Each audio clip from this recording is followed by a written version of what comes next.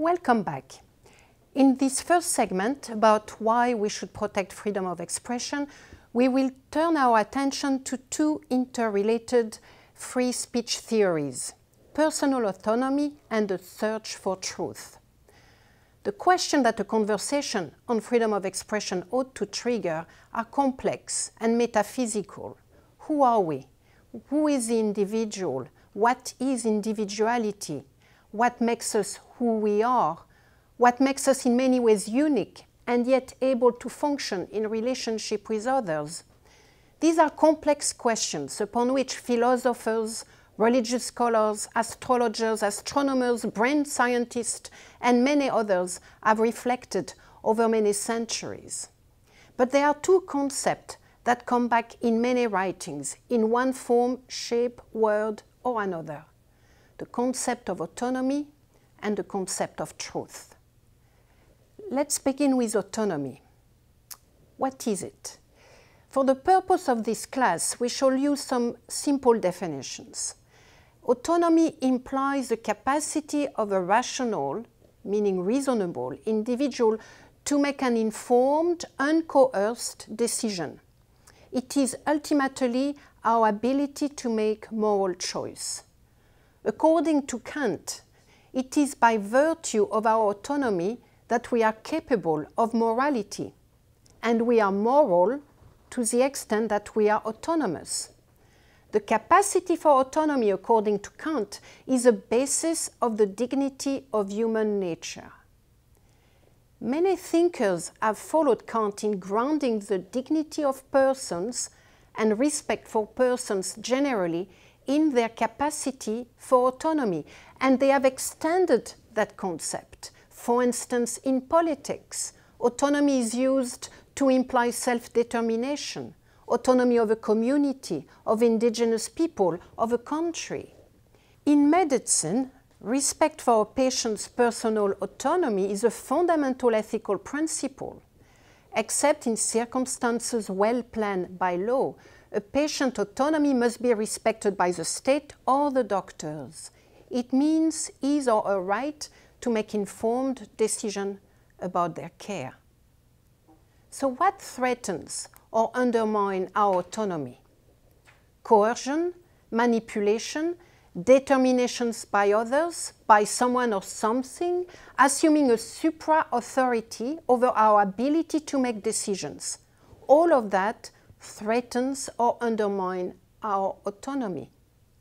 And what I've just described is actually a definition of censorship someone or something, governments usually, but not only, it could be community, leaders of that communities, someone or something decide for us what we can read, what we can see, what we can hear.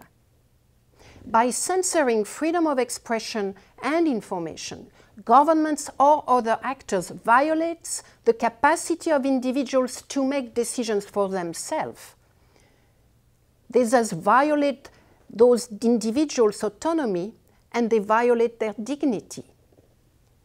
Put in more simple terms, through censorship, governments and other people denies individuals their autonomy. They treat adult individuals like children. This is very well captured by the Russian philosopher Alexander Radishchev, who came to prominence for his book, Journey from St. Petersburg to Moscow. He wrote in 1790, and I'm going to quote from him The censorship has become the nursemaid of reason, wit, imagination, of everything great and enlightened. But where there are nurses, there are babies and leading strings, which often lead to crooked legs. If they are always to be nurses and guardians, then the child will walk with leading strings for a long time and will grow up to be a cripple. Censorship prevents people's personal growth and development. Censorship cripples us. In the same manner as malnutrition stops the body from growing and resisting disease, censorship impairs the mind from learning and developing. Censorship is a string leading the puppet. It prevents our autonomy, denies our free will, undermines our freedom of action. By preventing the realization of our autonomy, censorship prevents us from seeking and accessing knowledge, and ultimately from seeking and accessing truth. Truth. This is a very confronting concept and a complex one as well. So, what do we mean by truth? It is not or not necessarily a moral or religious judgment passed on fact the world, although it could be. It is more and it can be less. In the 17th century, the philosopher John Milton described truth as a streaming fountain. If a water flow not in perpetual progression, they sicken in a muddy pool of conformity and tradition. That to me is one of the best definition of truth, one that links it to a process, a movement, a dynamic. Truth is exploration, both personal and social. Truth is the advancement of knowledge. What does it mean for censorship? How does the search for truth justify free speech? After all, could we not conceive of the advancement of knowledge as a process benefiting from regulation and protection?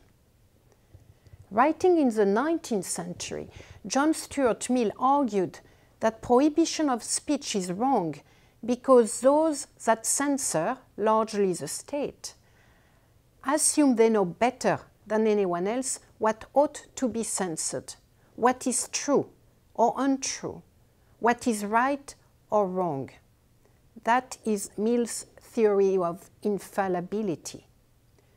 For Mill, governments can only reach a view regarding the correctness of a position or policy provided people have been free to challenge and counter it.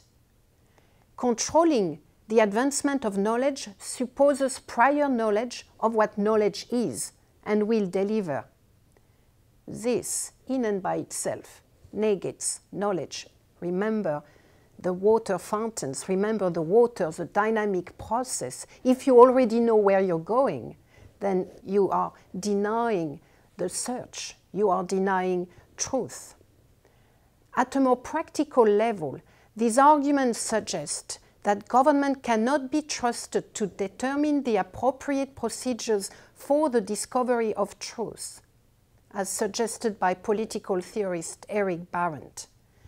Better decisions are more likely to emerge from uninhibited discussion than from a discussion heavily regulated and controlled.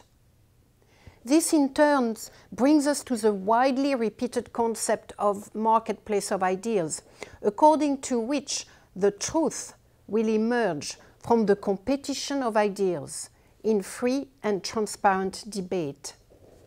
American Justice Holmes, in his dissenting opinion in Abrams versus the United States in 1999, first developed the argument on the free market of ideas when he wrote in defense of free speech and democracy, and I quote, When men have realized that time has upset many fighting faith, they may come to believe that the best test of truth is the power of the thought to get itself accepted in the competition of the market, and that truth is the only ground upon which their wishes can safely be carried out. And he adds that, at any rate, is the theory of the Constitution. It is an experiment, as all life is an experiment. So, to conclude this first segment, the journey into why freedom of expression matters has led us to the notion of autonomy as the basis of human dignity. Censorship, by denying our capacity for autonomy, by denying our ability to decide for ourselves what we can read, what we can see, what we can engage in. Censorship violates our autonomy and thus our dignity. Censorship also prevents us from engaging in the search for knowledge and the search for truth. It is a search which makes us better humans, which strengthens, fastens our senses, judgments, critical ability. It is a search which makes for better governments and societies. That, at least, is how many political theorists have argumented and demonstrated the importance of the search for truth for both individual and society. Let me leave you with three quotes which I hope will stimulate further thinking and exploration as you go along. The first one is from Milton. Give me the liberty to know, to utter, and to argue freely according to conscience, above all liberties. And then the second quote from Lee Bollinger. Through the process of open discussion, we find out what we ourselves think. And we are then able to compare that with what others think on the same issue. The end result of this process, we hope, is that we will arrive at as close an approximation of the truth as we can. And then Holmes, Justice Holmes, in conclusion, that at any rate is the theory. It is an experiment, as all life is an experiment. Thank you very much.